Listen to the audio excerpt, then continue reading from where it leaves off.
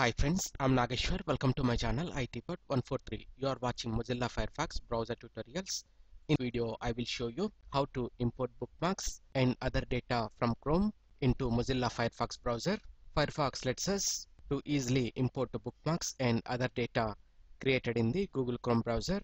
Here in Google Chrome, we have created some bookmarks. I want to import these bookmarks into Firefox browser to open them. Come to Mozilla Firefox click on library button that is view history saved bookmarks and more.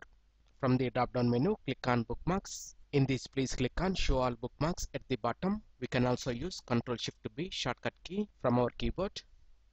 Then it will open library window. Click on import and backup. From the drop down menu choose import data from another browser. Then it will open import wizard window.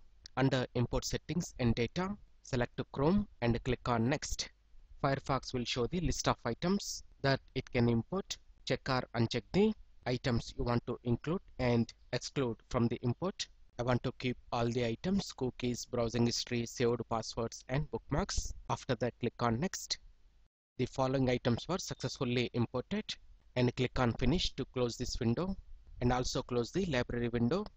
Then we will get a folder named from Google Chrome in the Firefox bookmarks toolbar if you don't find the bookmark toolbar, click on library button, come to bookmarks, click on bookmarking tools. In this, please select view bookmarks toolbar and we got the bookmarks from Google Chrome. Simply click on it and it will show the list of bookmarks in the drop down menu.